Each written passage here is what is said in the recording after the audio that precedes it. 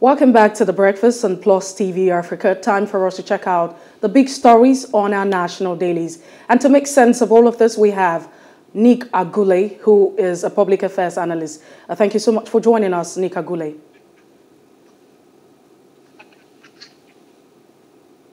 Thank you very much. Good morning. All right, so uh, we'll start off uh, with the leadership newspaper this morning and find out what big stories are making the rounds on the leadership newspaper. Now, looking at the front page of the leadership newspaper, a very bold and interesting caption says, Abuja now home to abandoned white elephant projects. Uh, that's on page four. Uh, this is uh, not new to the Nigerian scene. Uh, if you look across the entire country, you find out that there are several abandoned projects. Abuja now home to abandoned white elephant project. It's boldly written on the leadership newspaper. You've got several riders. Uh, the first reads, billions of naira disbursed to contractors, but project rots away. And that's uh, the first rider. Government makes excuses for delays and abandonment. It's a national shame, says resident. Okay, so the, that's what you find on the leadership newspaper. Another uh, header says, Investors besiege all companies' shares over rising crude prices. Uh, that's also on the top page of the leadership newspaper, on page five to be precise. You also find another uh, writer saying, Budget Office paid 28 billion naira to unnamed MDAs. Uh, that's what the Senate is saying. That's quite interesting, if you ask me, and that's on page 8 of the leadership newspaper. I visited EFCC on my own volition. Kwan Kwankwaso is quoted on page 4. Well, these are the stories we can uh, take on the leadership newspaper this morning. All right, moving on to the Punch newspapers. APC parallel congresses, Amosun, Aregbesola, Lai may lose out, party back to governors. It's a practice to respect incumbent governors. They are party leaders, National Caucus member says. Says illegal congresses won't be recognized, and that's from the APC, as mass defection looms.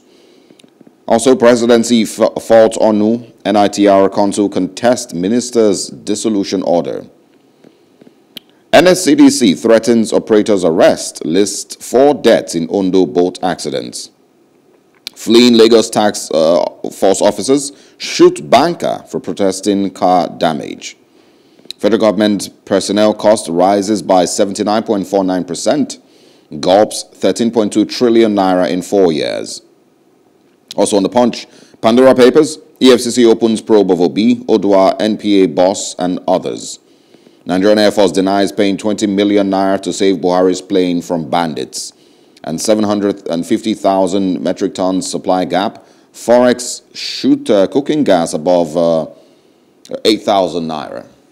All right, let's check out the Daily Independent newspaper this morning. Nigeria unattractive to lenders, investors, analysts quoted. Nigeria unattractive to lenders and investors. It's on page four. One access for partial privatization is executed through capital market asks federal government to issue asset-backed securities to connect global liquidity.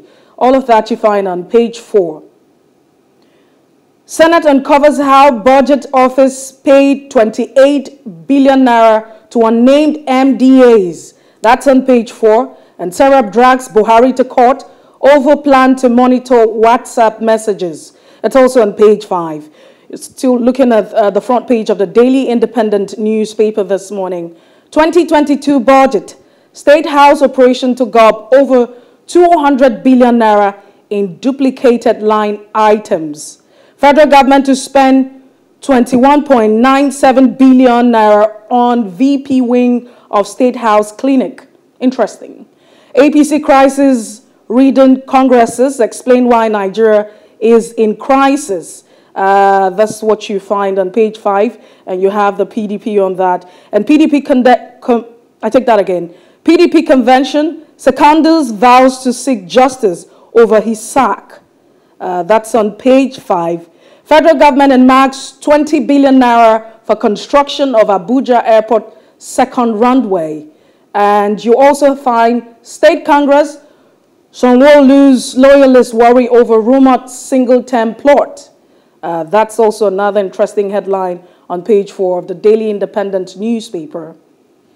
Now let's see what we can find on the nation. Big one there says Secondus Anyanwu deep in PDP pre-convention crisis. Suspended chair won't withdraw case. Southeast chieftains reject governor's candidate for secretary. Um, Igboho is in the news also saying, I am not seeking funds for treatment. And uh, we can also find on the nation, congresses not conducted by accredited officials, null and void, says the APC. Inside the Akure Doluto Probe Congress, no other Congress outside the Shogbo Stadium. Also, why or your APC Congress collapsed and uh, others. We can also find on the Nation this morning, Anambra 2021, rule out postponement of polls, says INEC. Uh, APC to hold rally November 3rd. And um, Kogi uh, government to EFCC disclose custodian of missing cash. Minister railway paying back loans.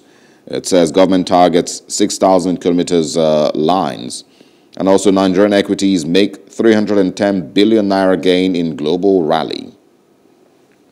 I think those are the stories that we can share this morning. Um, good morning once again, Mr. Agule. Thanks for joining us. Good morning. Thank you very much. All right, I want us to start with uh, one of the stories that we earlier spoke about, and that is the controversy concerning the Wall Street Journal's report that says the Nigerian government paid 20 million naira to bandits, about $50,000, um, to protect the president's plane, basically, from bandits.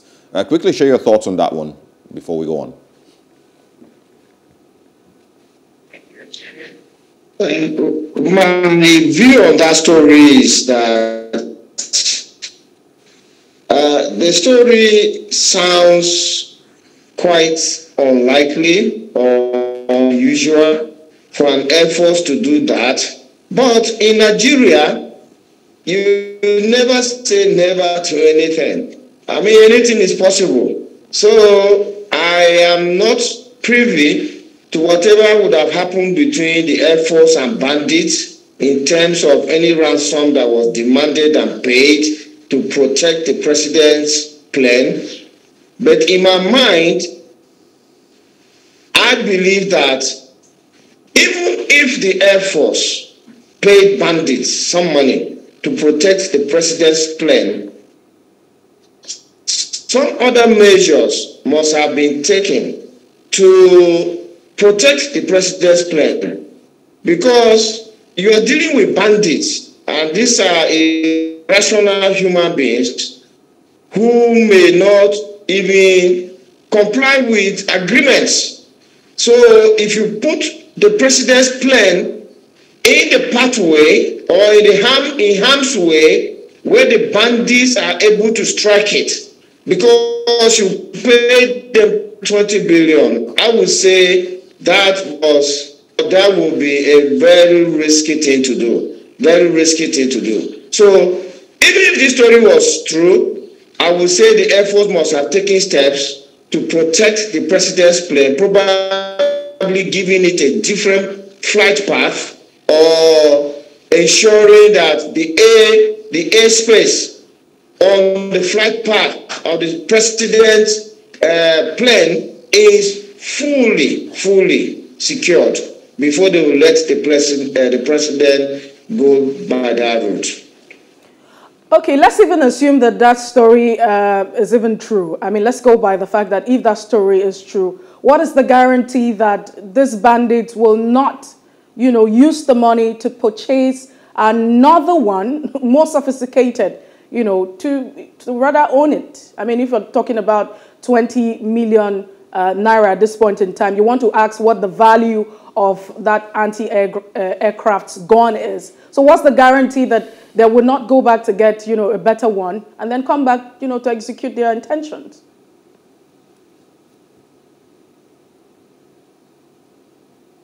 Precisely. Like you have said, if the story, if we assume that the story is true,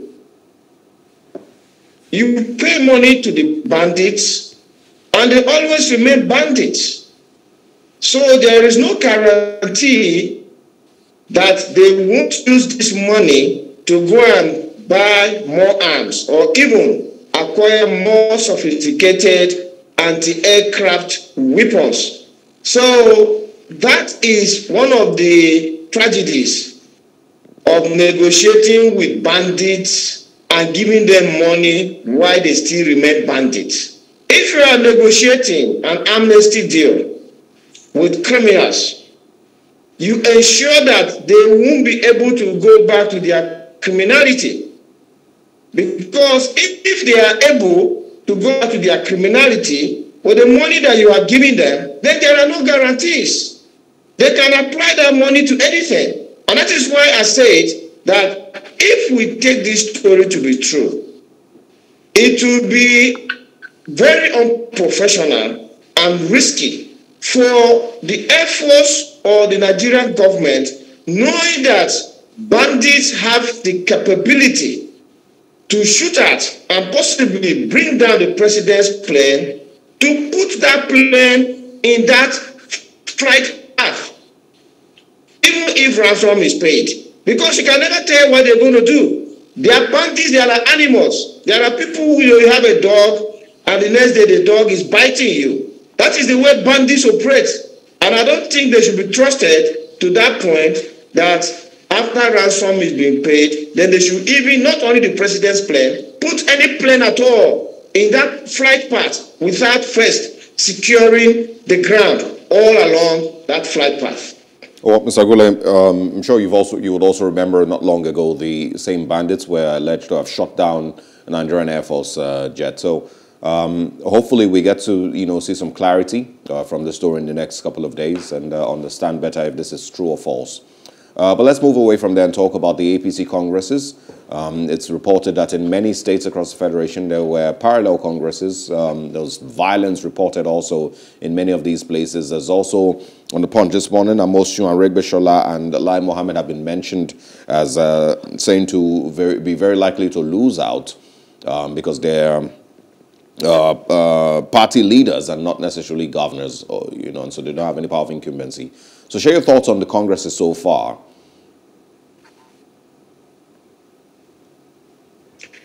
Before I answer your question, let us uh, say uh, one last thing on the last story that we took. That I have read a report. I don't know if it's authentic, but I read a report purported to have been issued by the Nigerian Air Force to debunk or deny the fact that they ever paid ransom to anybody to secure the flight path of the president's plane. Now, uh, going to the congresses, uh, what I, I observed in the news on the APC congresses is that almost all of them were carried out by consensus. So they had consensus candidates and they didn't have to ballot. So they just had voice votes and the candidates that uh, stood for the various positions were now returned unopposed. I mean, if a party decides to do that, so long as it's in a democratic way, they have their right to do that. But my concern is the APC as a ruling party is unable to conduct its own congresses, congresses as a party. How then can we trust this party that they will deliver a national elections credit, creditably, fairly, and correctly? How can we trust them? Because uh, there is a case, is in Ogun State? There are two congresses in Ogun State. Either Ogun or Oyo State, one of the old states. They had two congresses. In one of the congresses, there were shootings, and people had to run helter skelter. We're talking about party congresses, and the ruling party is unable to have internal democracy and conduct itself in a democratic way to deliver content. then how can they deliver a national election? We should all be alarmed. Secondly, all the, the, the crises up and down in the parties between governors and some other leaders of the party and other stakeholders. As Nigerians, we wish all this should be for the good of Nigeria. This should be for good governance. But unfortunately, it is not. These are personal fights, fighting for personal territory. So for us Nigerians, we would like to advise these party leaders. What we need is not a show of force. What we need is not a demonstration as to who is more powerful in your party.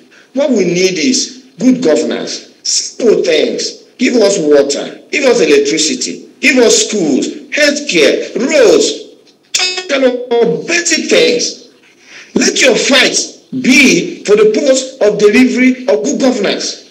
That is what will interest us, and that is what is going to be for the good of this country. If party leaders are united in terms of delivery of good governance to Nigerians, I don't expect this crisis to be happening and down in all the parties. So this is the time that these guys should sheath their swords, should all think that we are working for the people of Nigeria and not for our own personal interest so let us go and deliver good governance to them. Okay, let, us quickly look at the leadership newspaper this morning and talk about the reports on abandoned projects and white elephant projects as reported uh, in the FCT. Now, what could be responsible? Because according to you know the news, you have uh, resources have been released, like millions have been released, and these contractors are not doing the needful. So, what could be responsible for this behavior?